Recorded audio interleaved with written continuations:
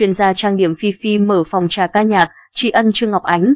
Tôi bước vào nghề này từ con số 0, tôi có thể làm được như ngày hôm nay là nhờ sự huấn luyện của chị Trương Ngọc Ánh, chuyên gia trang điểm Phi Phi nói.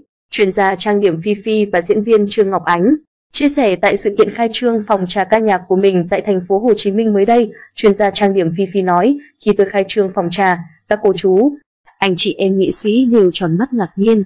Lý do đơn giản là tôi làm nghệ thuật nên muốn kinh doanh nghệ thuật. Tôi mở phòng trà, thứ nhất là để các anh chị em nghệ sĩ, ca sĩ, các bạn trẻ có sân chơi, có một nơi để biểu diễn hàng đêm mà tôi cũng có lời. Trong thời điểm kinh tế khó khăn như thế này mà mở phòng trà, nhiều người bảo tôi gan quá. Nhưng tôi nghĩ mình đã cố gắng làm tốt nhất mọi thứ rồi, còn lại là hên xui thôi.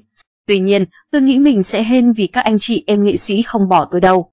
Tôi bước vào nghề này từ con số 0. Hồi đó, tôi làm cho công ty của chị Trương Ngọc Ánh, chạy chương trình, làm sự kiện đều không biết gì. Tôi có thể làm được như ngày hôm nay là nhờ sự huấn luyện của chị Trương Ngọc Ánh. Nhờ chị Ánh tạo áp lực mà tôi mới trưởng thành và được như hôm nay.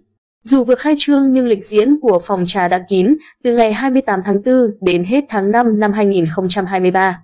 Với chương trình biểu diễn của các nghệ sĩ nổi tiếng như Quang Hà, Kiền Thục, Lệ Quyên, Thanh Hà, Đàm Vĩnh Hưng, nhóm một thành viên, Mira Trần, Phương Thành, Thảo Trang, Giao Linh, Quốc Đại, Hồ Trung Dũng, Tiêu Châu Như Quỳnh, Khánh Ngọc, Quách Thành Danh. Chuyên gia trang điểm Phi Phi là một trong số những cây đa cây đề của giới make up cùng với chuyên gia trang điểm Hồ Khanh, Nam Trung, Huỳnh Lợi, Mộng Hùng. Anh là người đứng sau phụ trách trang điểm, hóa trang cho các nghệ sĩ tham gia nhiều game show truyền hình như Người bí ẩn, Ký ức vui vẻ, Ơn rời, Cậu đây rồi, Cười xuyên Việt và nhiều kịch truyền hình, phim điện ảnh.